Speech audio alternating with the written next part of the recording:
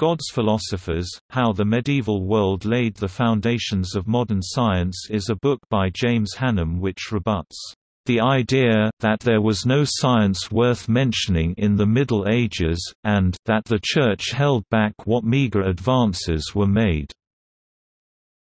Hannam argues that Medieval scholars overturned the false wisdom of ancient Greece to lay the foundations of modern science.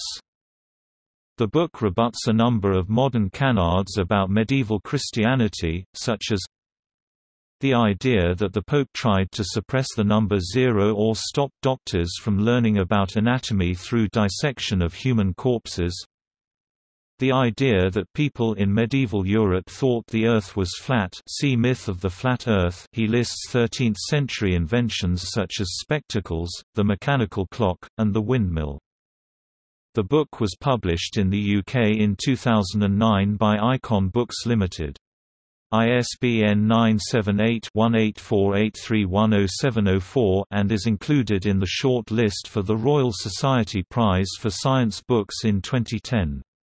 The U.S. edition was published in 2011 by Regnery Press under the title The Genesis of Science, How the Christian Middle Ages Launched the Scientific Revolution. In 2011 the book was shortlisted for the Dingle Prize of the British Society for the History of Science.